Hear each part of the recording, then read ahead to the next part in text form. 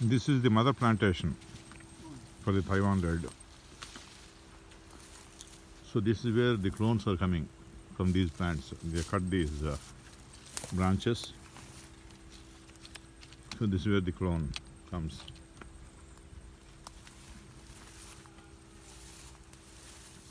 Some of the plants are tipping over because of the weight of the uh, fruits. So look at all these because they didn't uh, cut the fruits, so everything, you know, the plant has just uh, leaned over.